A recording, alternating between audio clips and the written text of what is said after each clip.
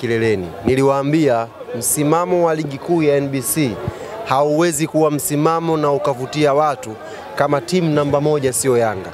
Leo naamini watu wote ambao wanaifuatilia ligi kuu ya Tanzania, ligi kuu ya NBC, wakiuangalia msimamo watakuwa wanatabasamu wakisema leo mwenye ligi yake amerudi kwenye nafasi yake. Kwa tunamshukuru sana Mwenyezi Mungu na niwaambie wanachama na mashabiki wa Young Africans, vipigo vinaendelea. Lengo letu kama Young Africans ni kuja kumkanda mtu goli kumi, bado hatujalifikia. Hizi tano tano, kuna siku tutaziunga kwenye mechi moja zifike kumi. Sijui watakuwa nani, kazi itakuwa huko mbele. Hapa mwanzoni tulivyoanza ligi, walianza kusema tunacheza na timu dhaifu. Kwa hiyo tunasubiri kadi tunavyozidi kwenda mbele, tumjue naye atakuwa dhaifu kuliko wote atakayechukua mikono miwili ya nyani hapa. Kifurushi huyu mnamtafuta nani ambaye hizo kubwa? Wamesema ligi ina timu dhaifu, kwa hiyo tunafuta dhaifu zaidi kwenye ligi hii, ambaye ni dhaifu zaidi ndio atachukua kumi. Kwa hiyo watachaguana wenyewe katika hawa kumi na tano. Wawili tayari washajiepusha, KMC kachukua tano, JKT kachukua tano, wanaofuatia huko wajue kuna kumi zinaandaliwa. Sasa huyu atakayezifuata wakae kawa wachaguane, na atachukua hizo kumi, ila lazima atachukua mtu kumi hapa, ipo siku tu. Maneno hayakuwa kwa, kwa Masaubu anasema wao sio wao KMC ambao mwafunga goli tano. Masaubu tumemzoea, ni sawasawa na Imam anakuwa yule yule, ila akabadilishiwa msikiti. Tulijua tu atapiga adhana, hata kimswala atakwenda ataswali, atarudi nyumbani. Kwa hiyo tulikuwa hatuna wasiwasi naye, ni mzee wangu, tunamheshimu, lakini leo pia yeye atakuwa shuhuda wa kuwasimulia wengine, hawa wasemaji wengine wa timu nyingine wakapate darasa kwa Masaubiri leo, Yanga ameionaje? Tano back Ali. to back, unaweza ukazizungumziaje?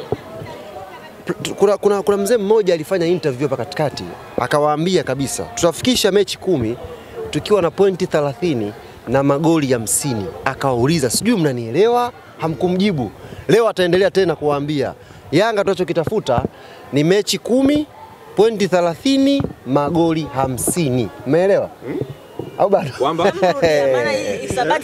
jakaa sawa sawa. Nasema hivi, tunachokitafuta ni mechi kumi, pointi 30, magoli hamsini. Sijui mnanielewa?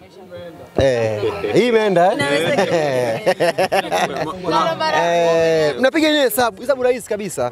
Na ukitaka kujua level ambayo tumefikia sisi leo hii, tumemkanda JKT tano hapa. Profesa Aboy alikuwa yuko pale, sio yupo kwenye benchi. Profesa alikuwa yuko pale, ametulia, amekaa pale anakula popcorn tu, yuko na skudu makudubela, wanazungumza tu. Hawa ningekuwepo hawa hawa. Zilipofika tatu nne, hiyo mpira ulivyoanza, JKT sio kama waliambia nini kambini kwao kwamba waje, unajua ile kijeshi jeshi ile lakini Hapana, tulikuwa tunajua tu. Tofauti yetu sisi na timu nyingine ni fitness ya timu yetu. Tumeleta kocha wa viungo, siku anakuja mkaona kama Siara.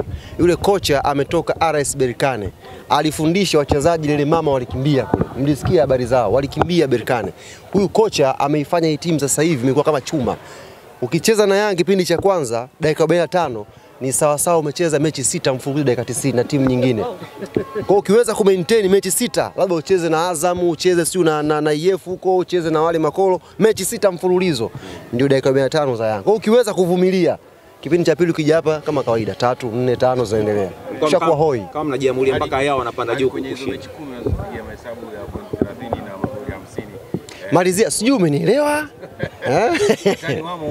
Wataangalia hapo, fixture sipo wazi, kwani fixture tunapanga sisi? Fixture imepangwa na bodi ya ligi, ataangalia mtu fixture mbele huko, tumepanga kabisa. Au nirudie kidogo? emrudia hii mechi kumi pointi 30 magoli hamsini.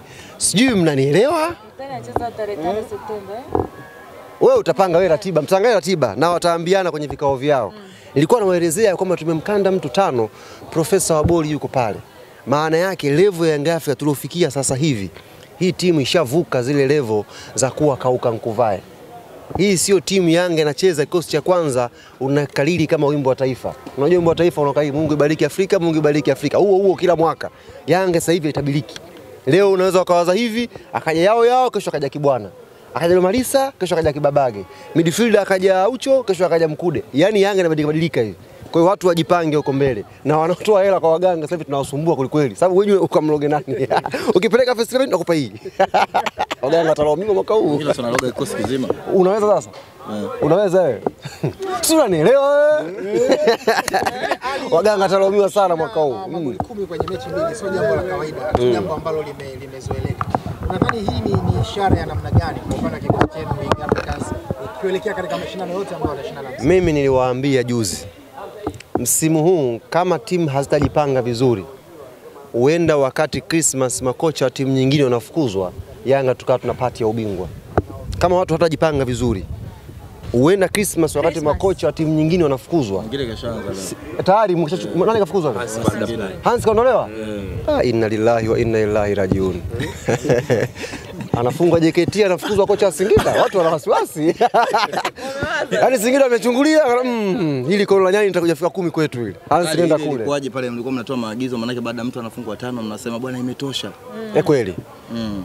Sisi kwa leo JKT unajua wanafundishwa na bonge moja la kocha. Malali hamsini ni bonge moja la kocha. Na wako na squad nzuri kweli kweli. Kesho tunawapa kazi wachambuzi wakaichambua. Lakini JKT wako na squad nzuri kweli kweli. Na hili swala mtaliamini siku wanapocheza na watu wengine hapa. Lakini JKT wako na timu nzuri sana. Na wamecheza vizuri sana. Tumwazidi tu uwezo. Quality yao na sisi tuko tofauti. Zilipofika tano akasema hapana. Kwa heshima ya jeshi, kwa heshima ya Malale, kwa heshima pia na kijana wetu ambaye yupo kwa mkopo kule David Bryson, tano zimetosha. Kwa hiyo tukawaambia wachezaji, fungeni hapo hapo zisiendelee, na wakatusikiliza, zikaanza sambusa sasa. Sambusa zikaanza katikati ya uwanja. Kuna mtu alikuwa anafanywa sabu, nani huyu? Akabidi naye aombe, au chotoa mpira nje niingie, mpira kwa utoki mpaka mpira unaisha. kabidi aombe. Eh, mna swali lingine? Eh, imeonekana Max kama ni mwendelezo wa kupiga magoli magoli mawili mawili kila mechi. Max pia Nzengeli. Unajua furaha zimegawanyika sehemu mbili. Kuna watu wao walishangilia kipindi cha usajili na sisi Yanga tulikuja kushangilia kipindi cha mechi zilivyoanza. Tuliwaambia tumeleta wachezaji wenye quality kubwa, tukamtaja Max Nzegeli, Mbape wa Kongo. Watu mkasema ah, mna kitu hamna kitu. Sasa hapa ameanza kuwasha, na juzi mlimsikia Gamondi amewaambia mnachokiona kwa Max ni asilimia 30 tu ya utimamu wake wa mwili. Akifika asilimia sabini Max ataanza kuondoka na mipira hapa. Kwa hiyo ndio maana uliposti kwamba wameshangilia kununua viti eh? Ah, Hii hii kuna mchambuzi amefanya uchambuzi jana, mchambuzi wa maana kweli kweli, alisema katikati ya uwanja Yanga imeuza Vits ikanunua Rolls Royce. Umeuza Vits milioni tatu na laki tano unanunua Rolls Royce milioni mia tisa unaweka pale. Unajua Rolls Royce wewe? Ah, anajua kwa Diamond tu. Ndio ile ya Diamond. Kama hujui. Swali ameisha eh? Tuende tukapate sasa. Na, na nataka nifahamu mimi kama uwanja wa Benjamin Mkapa uki, ukiwa tayari kwa marekebisho, vipi mtaendelea kutumia hapa? Maana mmeonekana mna bahati na uwanja ilivyokuwa au unamwambia nini Zaka, mtaendelea hapa? Mimi naamini sio tu wana Yanga wanaoenjoy, watu wa Mbande huku wote, watu wa Chamazi Na yes, na wanaomiliki uwanja hapo juu kuna hostel eh? Kuna hosteli zao wanajikaza, hawaji kwenye mabenchi, lakini kwenye TV wanatazama. Tunafahamu hilo, tunafahamu Zaka ofisini kwake pale kashafunga Azam TV na yeye anafuatilia. Kwa burudani hii tunataka wao Azam ndio wakatuombee bodi ya ligi hmm? wao Azam